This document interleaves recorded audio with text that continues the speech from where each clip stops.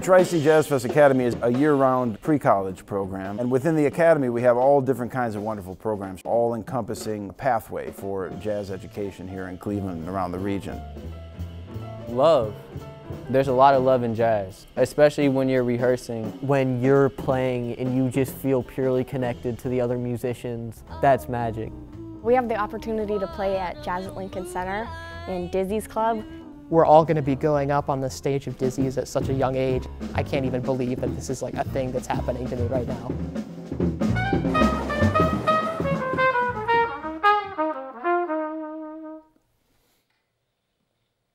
I can't give you anything but love, babe.